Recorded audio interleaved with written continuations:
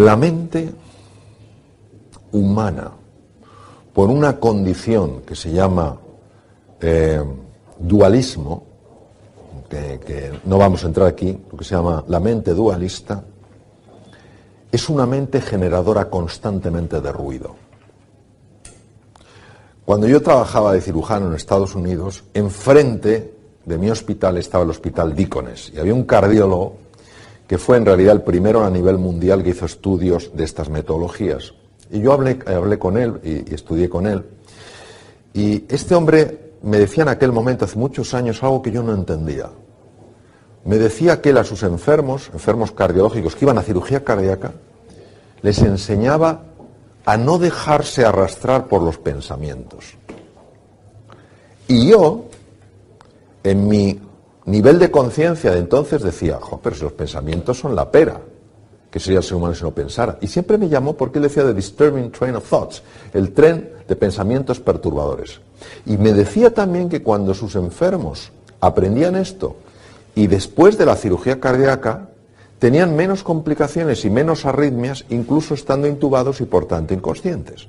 Y yo en aquel tiempo, hablo hace varias décadas, yo no entendía qué tenía que ver con eso. Conforme he estudiado más la mente humana y he estado con grandes maestros del mindfulness, todos estos temas, me he dado cuenta de que la mayor parte de la mente la utilizamos para meter ruido, para angustiarnos por el pasado y preocuparnos por el futuro. Y al final dejamos de estar en el presente, que es donde sucede realmente todo. Y claro, si yo estoy despistado, están pasando cosas que no las puedo ver. Y si encima estoy angustiado o estoy frustrado, estoy generando daño biológico. Entonces el mindfulness es una parte de la meditación, lo que se llama shamatha, que lo que hace es estabilizar la atención. ¿Cómo estabilizar la atención? Yo no puedo ver nada nuevo si no miro de una forma nueva. El shamatha, la, el mindfulness, que es la, la forma anglosajona de llamarlo, el mindfulness lo que hace es ayudarte a fijar la atención fundamentalmente en la respiración y en el cuerpo. Cuando tú mantienes la atención ahí, los pensamientos se ven sin energía. Y claro, intentan bombardearte, te intentan llevar, pero tú te das cuenta y vuelves. Entonces, claro, esto se viene practicando desde hace al menos 2.500 años. ¿Por qué ahora está teniendo tanto impacto? Porque tres científicos, eh, uno de mis mentores, Herbert Benson, cardiólogo de Harvard, profesor John Kabat-Zinn, formado en el MIT, y el profesor Richard Davidson, se dedicaron a estudiar qué pasa biológicamente en una persona que está entrenando su atención.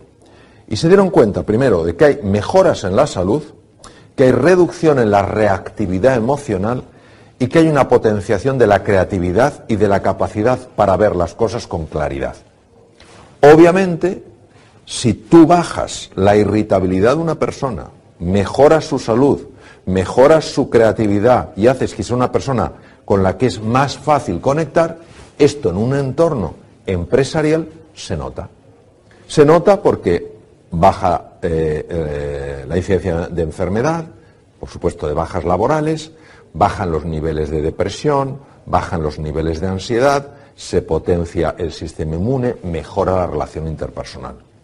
Hasta que la ciencia no empezó a estudiar esto, la sociedad lo veía como algo perteneciente a filosofías, sobre todo ancladas en el budismo y en el taoísmo, que poco parecía que tuvieran relación con el mundo de hoy. Cuando estos tres científicos dijeron, vamos a ver qué pasa practicando esto sin ningún tipo de connotación espiritual, sino solamente a nivel de estudio científico, ver qué pasa, han visto cosas sorprendentes, cambios en la estructura del cerebro, potenciación de la capacidad del sistema inmune para atacar tumores. Y claro, cuando la ciencia, que es para nosotros lo que da credibilidad a las cosas, ha dicho, señores, olvídense de la dimensión más trascendental. El que quiera que la busque, pero que sepan que esto funciona así, vamos a prestar atención. Por eso, algunas personas más tradicionales del mundo del budismo, pues decían que, bueno, que esto se estaba como instrumentalizando demasiado. Pero en el fondo, todo lo que ayuda al ser humano a estar mejor realmente mejor, no a tener más, no a ser más poderoso, sino a estar mejor por dentro, yo creo que ha de ser bienvenido. Lógicamente, hay personas que no se quedan en la salud física, en la mejora de la creatividad, en la mejora de la productividad, sino que además quieren avanzar más, quieren conocerse más, quieren saber lo que hay dentro. Entonces es lo que se llama el Vipassana, que es, mm, va más allá del mindfulness, es un paso más allá, donde te metes dentro y empiezas a entender con más claridad la dinámica de la mente. Hoy el mindfulness, por ejemplo, es algo practicado enormemente en todo Silicon Valley. ¿Por qué? Porque es fashion. Todo tiene un componente fashion, pero fundamentalmente porque en Silicon Valley hace falta interactuar con grupos muy diversos, porque hay que ser tremendamente creativo, porque hay que adaptarse a niveles de cambio eh, tremendos. Entonces, es una cosa muy establecida. Claro, en hospitales, eh, en hospitales como el que estuve yo en Estados Unidos, en universidades muy reconocidas en el mundo, ya son cosas que se enseñan a los estudiantes de medicina para, para que se enseñen a los enfermos. Es decir, ya no es algo que pueda tener para nosotros una percepción esotérica. Y eso ha hecho que el mindfulness esté entrando con gran fuerza en las empresas. Y yo creo que es muy importante que entre en la sociedad. Quien quiera profundizar más en la parte trascendental de la persona, adelante. Quien quiera quedarse ahí, mientras la ayude, fantástico. Yo creo que todo ser humano necesita fundamentalmente dos cosas que se le entienda y que se le quiera. Punto. Cuando una persona se siente entendida, no digo no, solo que note que se le está escuchando, sino que se sienta entendida, es una persona que nota una liberación interior tremenda. Esta persona me comprende. Aunque luego hagas, sí, te comprendo, pero voy a hacer una cosa diferente, pero ya se sintió comprendida. Es más, este se considera hoy en día que es el elemento, por ejemplo, en psicoterapia más importante, que la persona se sienta realmente comprendida.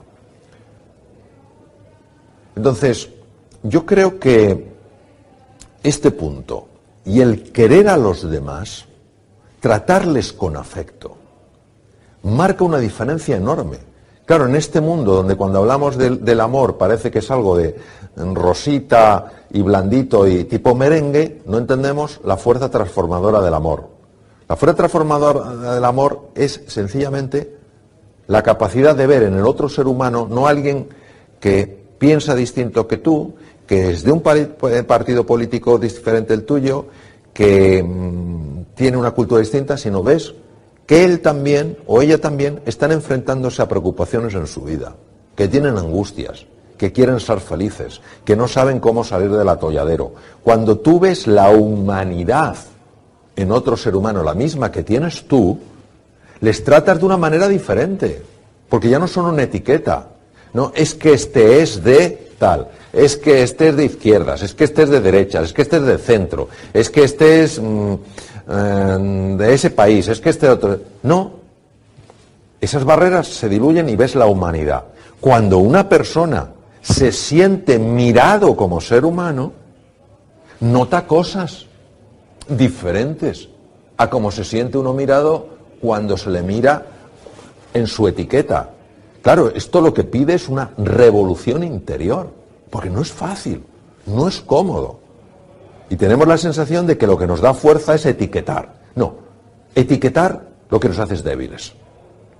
Y en un mundo tan global, con culturas tan diferentes, donde nos necesitamos entender, porque si no, no salimos adelante, tenemos que caer en la cuenta de que hay otra forma de vivir, en la que se produciría muchísimo más, vamos, pues seríamos mucho más creativos, en la que disfrutaríamos mucho más, en la que viviríamos más en términos literales, y en la que experimentaríamos un mundo con una paz, una serenidad que nada tiene que ver con la actual.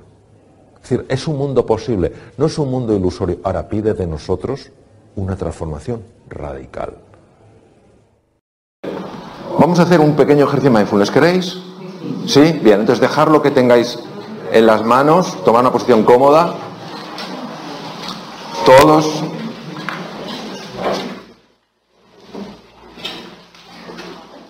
Bien. Es muy importante la posición.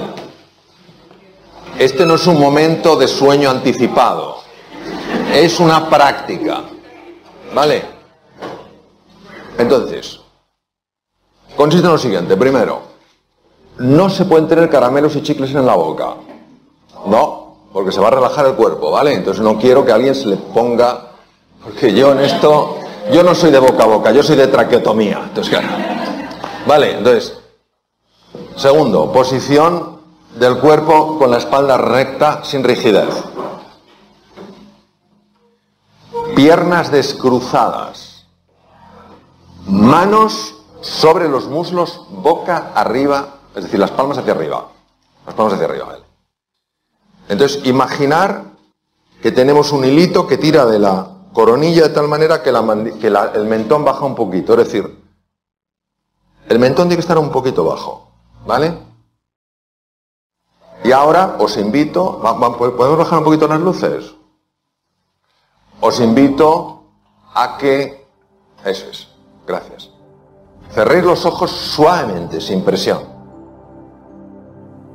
Quien no se sienta cómodo con los ojos cerrados los puede dejar entreabiertos mirando hacia un punto que esté metro y medio aproximadamente en el suelo.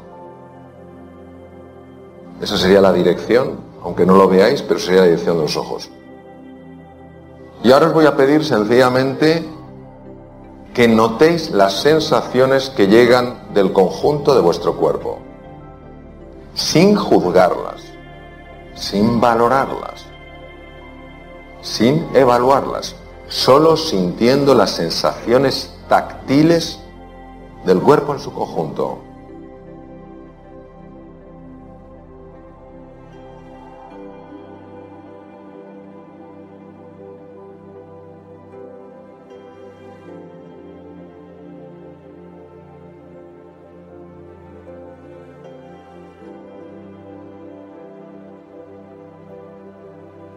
Tomamos conciencia de nuestro cuerpo. Apoyado en la silla, de los pies apoyados en el suelo. Y poco a poco vamos a ir permitiendo que cualquier tensión que se haya acumulado en el cuerpo poco a poco se vaya desvaneciendo. Para que nuestro cuerpo sea un cuerpo sereno y relajado.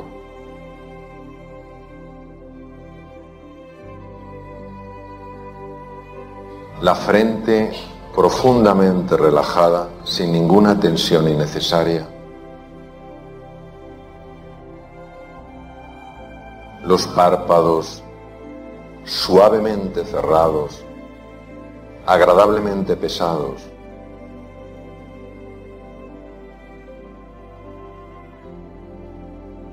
Las mejillas flojas y relajadas.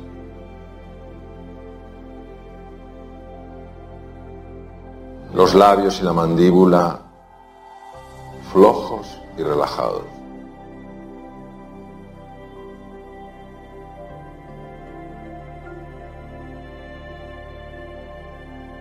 Y si algún pensamiento nos distrae, con tranquilidad, con amabilidad y con firmeza, volvemos a traer nuestra atención a las sensaciones de nuestro cuerpo.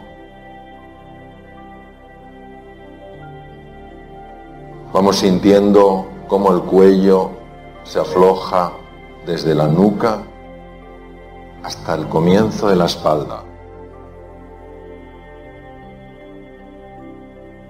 Hombros flojos y relajados, cayendo como cae un abrigo en su percha.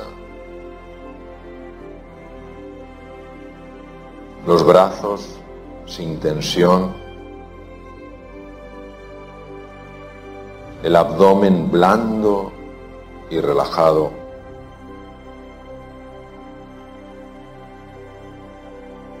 Los muslos, las rodillas, las piernas y los pies flojos y relajados.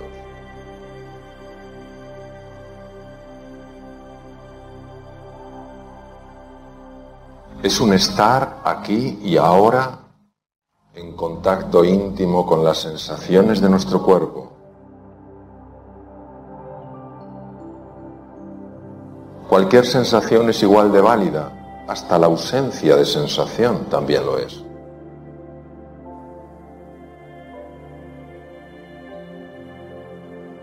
Y ahora nuestra atención va a ir a las sensaciones de la respiración. sintiendo el movimiento del cuerpo durante la inspiración.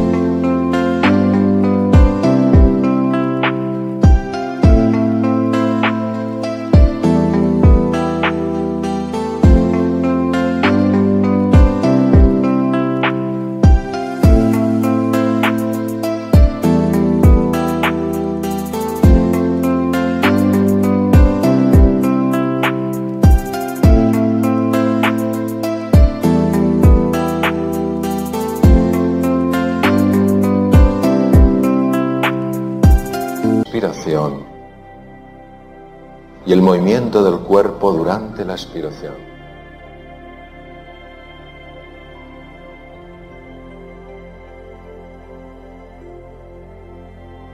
Y cada uno nota con más intensidad, con más viveza, la respiración en una parte de su cuerpo. Hay personas que la notan más en el abdomen, otras en el tórax y hay otras que las notan en los orificios de la nariz. Pon tu atención, por favor, en el punto donde notes más esa sensación de tu respiración.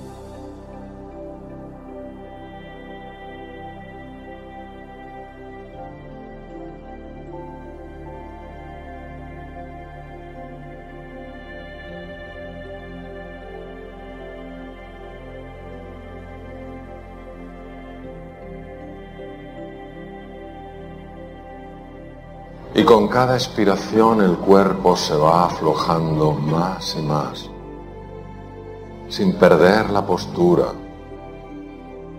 Si se desvanece la tensión que podemos haber acumulado a lo largo de los días o las semanas.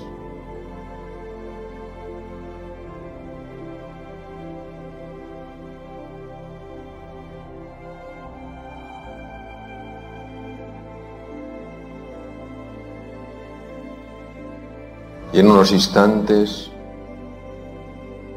volveremos al nivel de conciencia del que partimos. Al tranquilizar nuestra mente, habremos conectado con esa fuerza interior que yace en todo ser humano, fuente de posibilidades, fuente de recursos habremos reducido esa tensión que castiga incesantemente a nuestros cuerpos.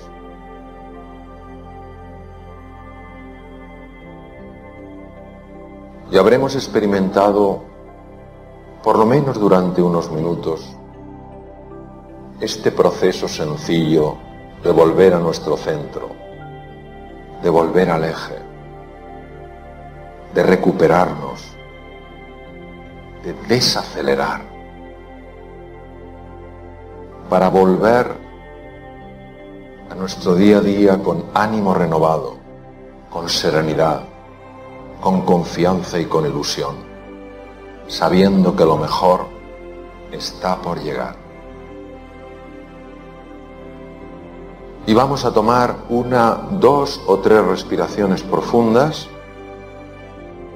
y vamos a abrir los ojos para volver a encontrarnos en este lugar completamente orientados en tiempo y en espacio. Vamos abriendo los ojos.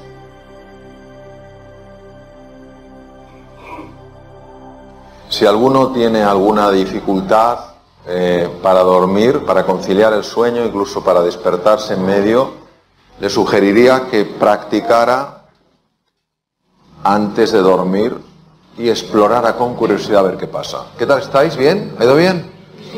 Bueno, vamos a terminar. Voy a terminar con algo que a mí me apasiona. De hecho, el último libro, el, anterior a este, El Guardián de la Verdad. ¿Estáis bien todos? ¿Sí? ¿Bien? Vale.